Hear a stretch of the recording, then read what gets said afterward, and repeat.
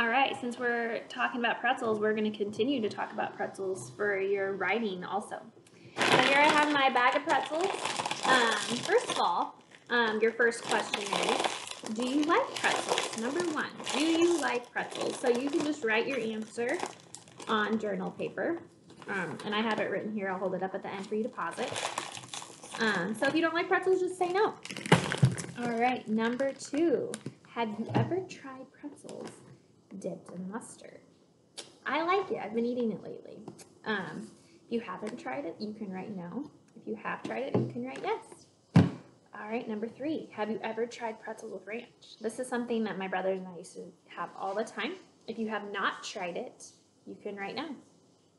Do you like pretzels like in the dough form or do you like them in the cracker form? Or do you not like either one? All right, and then if you have pretzels in your house right now, and if you have not tried pretzels in mustard, I want you to go try it. If you have pretzels in your house, I'd also, and ranch in house, I'd also like to go try ranch with your pretzel.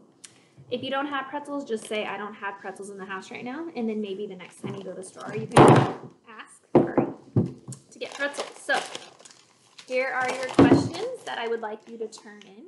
You can pause the video so you can see them, and I'll also write them on the email. Happy pretzel trying if you can.